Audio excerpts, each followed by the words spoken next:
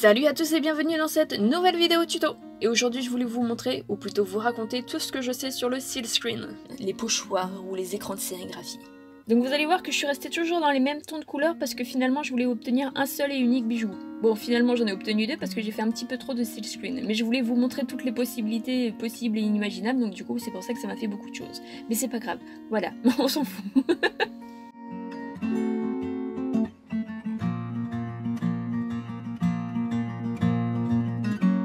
Donc moi personnellement tous mes pochoirs viennent de chez Grain Creative parce que je les adore, j'ai rien à leur redire. Donc ce qui est super sympa avec les écrans de sérigraphie c'est qu'on peut utiliser euh, plusieurs euh, choses diverses et variées. On peut utiliser des poudres de mica, du Perlex par exemple. On peut aussi utiliser du pastel sec ou bien de la peinture, c'est comme on veut. On a vraiment plusieurs possibilités. Et donc maintenant je vais vous montrer tout ça en exemple. Donc pour le premier exemple, c'est le plus classique, c'est le plus simple. Il suffit tout simplement de prendre une pâte de couleur unie et de l'accessoiriser soit avec de la poudre, soit avec du pastel ou de la peinture unie. C'est comme on veut. Donc pour ma part, j'ai utilisé de la peinture. Donc moi personnellement, je préfère appliquer la peinture directement avec les doigts, mais bien entendu, vous faites comme vous voulez. Pour le deuxième exemple, c'est exactement pareil, on utilise de la pâte couleur unie, et cette fois-ci on va utiliser plusieurs couleurs sur le seal screen, c'est-à-dire deux minimum. Une chose très importante aussi, une fois qu'on a utilisé notre seal screen, il est très important d'aller le nettoyer directement pour, pour éviter que la peinture reste dessus, que ça reste taché. Voilà.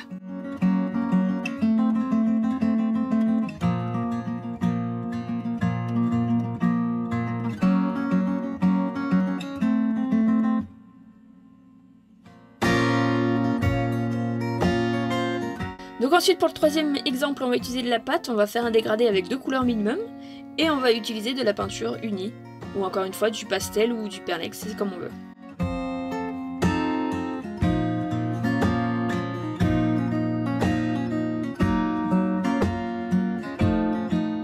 Et la quatrième version c'est pareil, on va utiliser un dégradé de pâte et on va utiliser aussi plusieurs couleurs pour faire le seal screen. Encore une fois, deux couleurs minimum avec ce qu'on veut, la poudre de mica, du pastel ou de la peinture.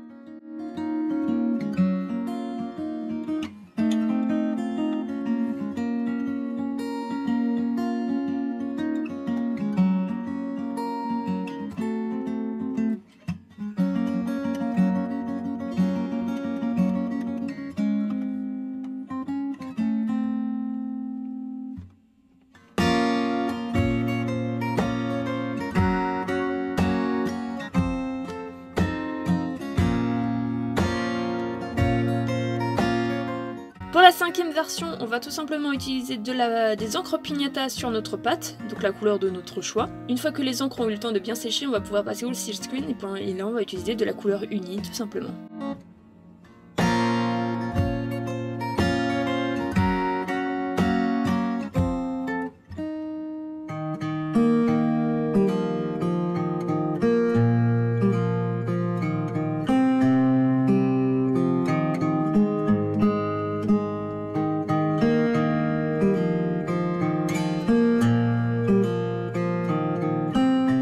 Ensuite, pour la sixième version, on va faire une superposition. Donc on utilise la couleur de pâte de notre choix, unie de préférence, sinon ça risque de faire extrêmement chargé. Et on va utiliser deux seal screens différents, les uns après les autres. On fait pas les deux en même temps, sinon ça risque de faire un peu bizarre.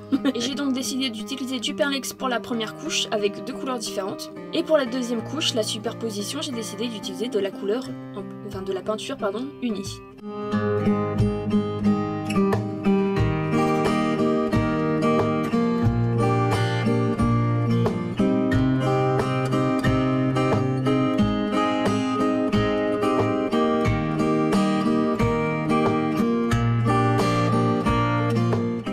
Ensuite, la septième version, c'est la même chose, sauf que cette fois-ci, on va utiliser un dégradé de pâte. Donc là, faut y aller vraiment en douceur parce que ça risque de faire extrêmement chargé. Et pareil, j'ai décidé d'utiliser du perlex avec deux couleurs et une peinture couleur unie.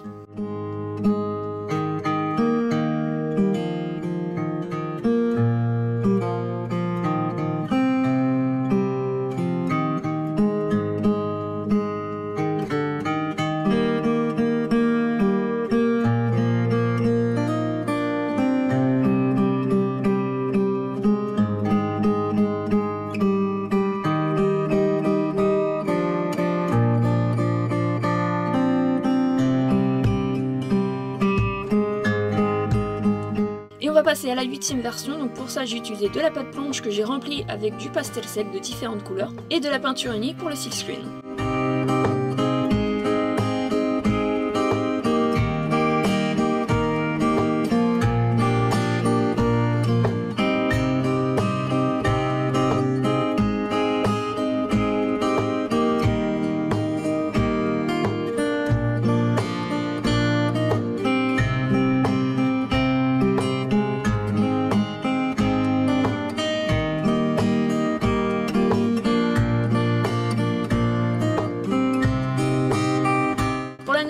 Version, c'est exactement pareil. J'ai réutilisé de la pâte blanche avec du pastel. Et cette fois-ci, j'ai décidé d'utiliser deux couleurs de peinture sur le silkscreen.